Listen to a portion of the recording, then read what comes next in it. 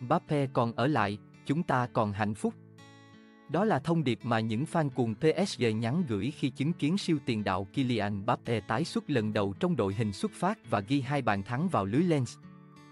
Để mang về chiến thắng chung cuộc 3, một cho đội chủ sân Parc des Princes ở vòng 3 Ligue 1 2023-24. Sự trở lại xuất sắc của Kylian Mbappe trong đội hình xuất phát của PSG ở trận gặp Lens nhắc nhở chúng ta rằng tiền đạo 24 tuổi này đã thắp sáng Ligue 1 được 8 năm rồi.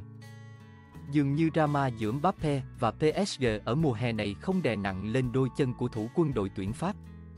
Chúng ta nên nhớ rằng Ligue 1 là một giải vô địch quốc gia mà những ngôi sao lớn nhất cuối cùng cũng đều rời bỏ chúng ta ra đi vì nhiều thứ. Nhưng, ngay cả khi PSG đối xử tệ hại với Mbappe thế nào, thì cậu ấy vẫn ở lại, có thể sẽ là mùa giải cuối cùng trước khi đến một bến đỗ mới lớn hơn. Thật đáng trân trọng. Đã gần một thập kỷ kể từ khi Mbappe ra mắt Ligue 1 vào năm 2015, lúc còn chưa tới 17 tuổi. Không có ngôi sao nào khẳng định được tầm vóc thế giới mà gắn bó lâu tới vậy tại giải đấu của chúng ta. Nhà báo Vincent Duluc bình luận trên Lequip TV. Bộ đôi Mbappe Dembele thân nhau ở đội tuyển Pháp, giờ lại rất hợp nhau ở PSG.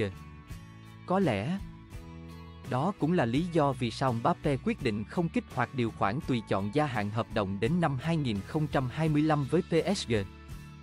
Nhưng ngay trước trận đấu, có hai lần tất cả các cố động viên trên sân công viên các hoàng tử đều đứng cả dậy để hoan nghênh anh trở lại. Phan cuồng không gian biển đòi Mbappe gia hạn nữa. Mà khi trận đấu bắt đầu, họ luôn hô vang tên anh. Đáp lại, Mbappe lại cháy hết mình trên sân. Huấn luyện viên Luis Enrique bố trí PSG xuất phát với sơ đồ 4-3-3 cùng bộ ba Ousmane Dembele, Asensio, Mbappe trên hàng công và đương kim vô địch Pháp thi đấu với số 9 ảo là cựu ngôi sao Real Madrid. Được thi đấu ở cánh trái sở trường, siêu tiền đạo người Pháp đã hoạt động rất rộng, chạy liên tục, dùng tốc độ và kỹ thuật để hành hạ hàng thủ vốn vô cùng chắc chắn của Lens, đương kim Á quân Ligue 1. Bỏ lại drama sau lưng, Mbappe cho thấy phiên bản tốt nhất của bản thân, chuyên nghiệp, di chuyển thông minh, tốc độ và đầy quyết đoán. Anh kết nối tuyệt vời với các đối tác, từ tân binh Asensio, Dembele đến những người đồng đội thân quen Vitinha, Hakimi.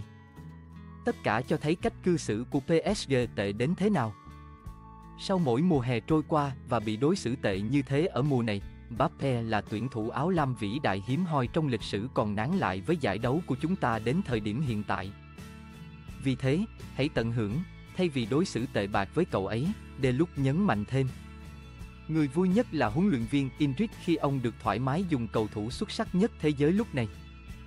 Việc Mbappe còn ở lại Ligue 1 chắc chắn là bởi mô hình kinh tế của PSG khác xa tại Pháp và rằng những cầu thủ rời sân Parc des Princes thường là những người mà giới chủ Qatar không còn muốn họ nữa.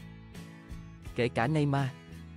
Sự có mặt của Mbappe cho phép bóng đá Pháp thấy vị trí của mình ở đâu trong thế giới này và cố gắng hơn để có thể thu hút phần còn lại của làng túc cầu.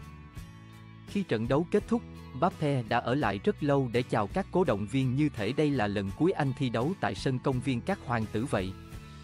Ở tuổi 24, Mbappe đã đặt dấu giày lên 301 bàn thắng cho PSG, 215 bàn và 84 pha kiến tạo, nhiều nhất lịch sử câu lạc bộ và vượt cột mốc 150 bàn cho PSG tại Ligue 1.